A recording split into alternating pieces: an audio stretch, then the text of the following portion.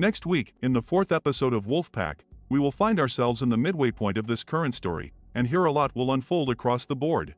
Garrett will most likely try to explain why he created silver bullets. Harlan and Luna will struggle to figure out what to do with their real father. Blake and Everett will continue to have visions of the two of them kissing, and besides, we are sure that something wonderful for these two will be just around the corner. In addition, Everett's survival during his encounter with the werewolf makes one thing clear, there is a legitimate possibility that Connor is still alive and somewhere out there.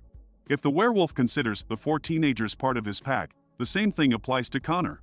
However, the unique bite mark in his body remains a source of mystery. Perhaps, there was more than one werewolf on the highway that fateful day.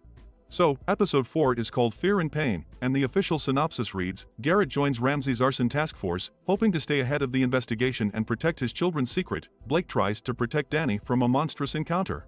The great thing about this show is that there is this emotional core, but there are also questions and mysteries you can talk about, as well. This is a really great combination that allows it to stand out from a lot of what is out there at this point.